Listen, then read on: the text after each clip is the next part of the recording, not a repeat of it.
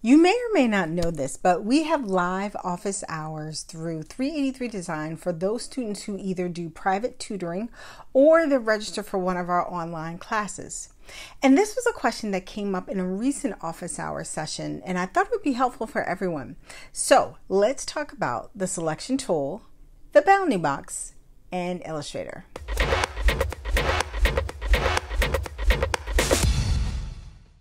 Welcome or welcome back to my channel. I am Mikelle Drew Pelham, a digital fashion specialist teaching digital fashion design and communication.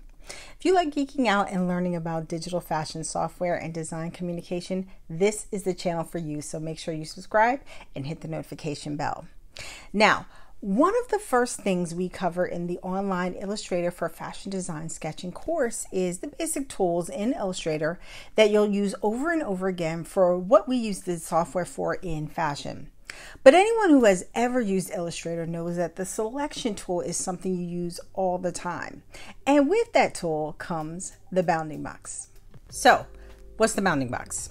If you've used Illustrator before, you've definitely seen this. Maybe you just didn't know what it was called, but it's that box that surrounds anything you select with the selection tool, and it goes to the boundaries of anything you've selected, hence the name bounding box. So if you select multiple objects on your page with the selection tool, it'll add a box around the outermost edges of all of the objects selected.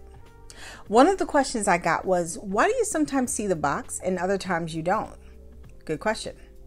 One of the first things you need to remember about the bounding box is that you'll only see it if you select something with your black arrow, the selection tool.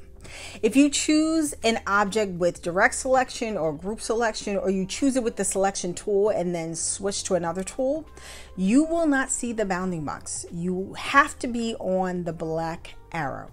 The other question that was asked was about the purpose of the bounding box and how to use it. So the bounding box offers you a quick way to resize and rotate an object. To resize it, move the cursor to any corner of the bounding box. You'll see a diagonal double-sided arrow and click and drag to make your object bigger or smaller.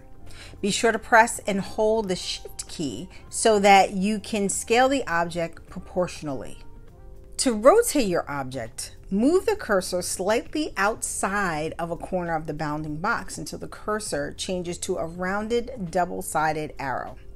Click and start dragging to rotate the object and again hold the shift key if you want to rotate the object at 45 degree angles.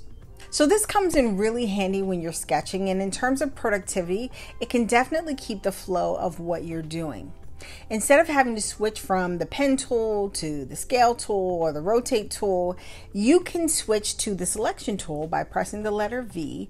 Or if the black arrow was the last selection tool you used, you can press and hold the command key on a Mac or control key on a Windows based computer, and that'll toggle from your current tool to the black arrow. Once you select your object, you can easily scale or rotate it. So for instance, one of the practice exercises for the online course is to draw Miss Pac-Man. And of course, what distinguishes her from regular Pac-Man is the bow, which is just two triangle shapes and a rounded rectangle. Now, when you make the triangle, it's not going to be the exact size or the correct rotation you want. And that's when you can use the bounding box. And on a practical level, let's say you're adding belt loops to a pair of pants. I will normally use the rectangle tool, create the belt loops with stitches and bar tacks, group it, and then scale it down and put it on my flat sketch. And usually the belt loop needs to be rotated slightly so it feels like it's placed on the sketch correctly.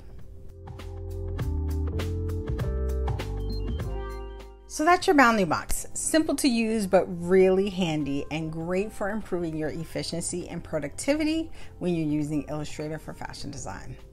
Thanks for watching today's video. If you are new to Illustrator or you need to improve your productivity in Illustrator for fashion design, make sure you check out the links in the description to take my online course or for private tutoring.